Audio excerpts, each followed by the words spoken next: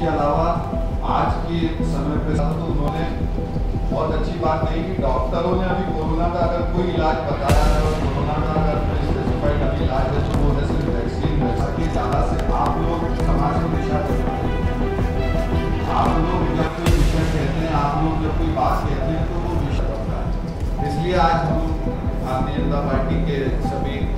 कार्यकर्ता, नेता, हमारे सभी के जनप्रतिनिधि, हमारे आप लोगों का एक बड़ा